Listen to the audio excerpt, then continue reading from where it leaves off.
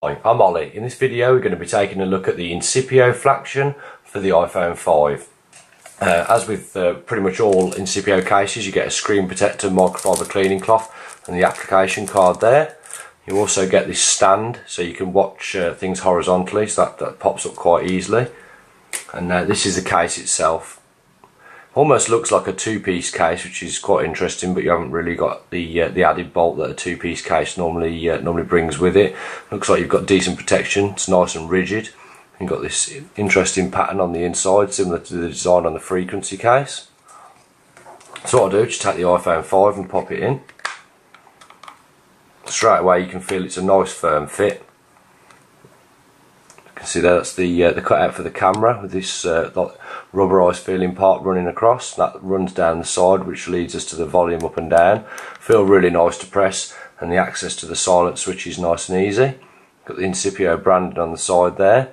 At the bottom here got decent access to the 3.5mm jack. The uh, the loudspeakers fairly uh, fairly open. Microphone's slightly restricted but not that causes any issues and you've got clear access to the lightning port on the bottom nothing interesting around there. You've got the power button at the top. It's nice and easy to press.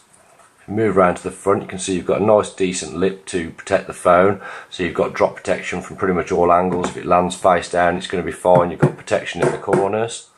So all in all a nice balance. It's not too thick.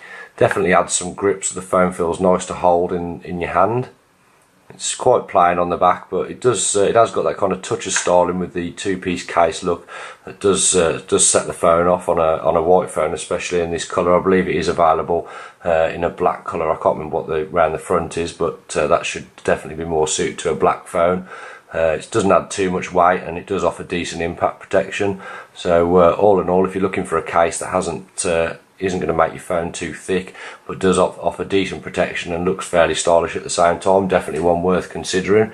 If you're interested in iPhone 5 case reviews I've got plenty on my channel. If you subscribe I'll keep you updated of all the ones I've got to do in the future. If this video uh, helps you if you can like it on YouTube it'd be much appreciated and, uh, and thanks for watching. Any questions just ask below and I'll get back to you as soon as I can